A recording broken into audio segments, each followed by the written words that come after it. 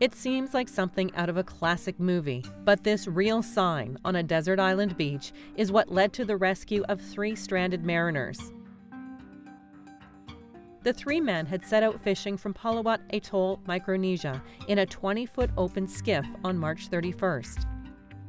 Their boat was soon caught in ocean swells, damaging their outboard motor and forcing them ashore onto the tiny, uninhabited island of Pikelot. They spent the next nine days surviving on coconuts while they waited for their sign to be spotted by search crews.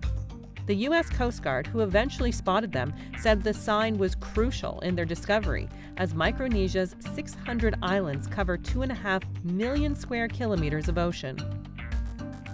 Pikelot was also the site of a similar incident in 2020 when three men were rescued after writing SOS in the sand.